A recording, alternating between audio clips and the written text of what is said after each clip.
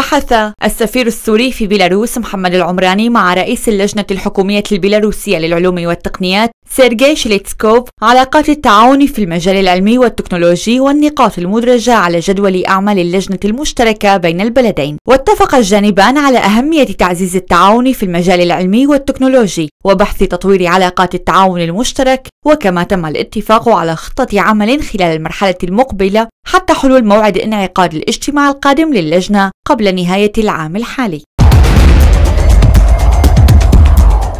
بحثت غرفة صناعة دمشق وريفها مع الملحق التجاري في السفارة العراقية بدمشق آلية التعاون الاقتصادي والتجاري وسبل انسياب البضائع السورية إلى الأسواق العراقية. كذلك ناقشت الآليات التسويقية بين الجانبين وتنظيم المعارض العامة والتخصصية وأسواق البيع لمنتجات البلدين.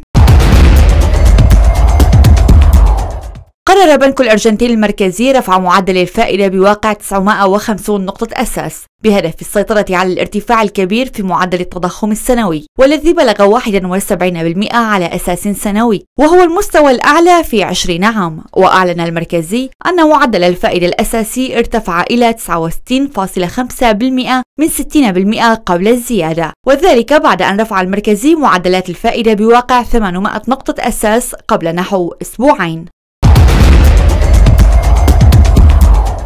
دعا المستشار الألماني أولاف شولتز إلى إنشاء خط أنابيب لنقل الغاز بين البرتغال وأوروبا الوسطى يمر عبر فرنسا معتبرا أن القارة تحتاج إليه بقوة بسبب مشكلة الطاقة الناتجة عن أزمة أوكرانيا مقترحا البدء في إنشاء الخط خلال نقاشه مع نظرائه في إسبانيا والبرتغال.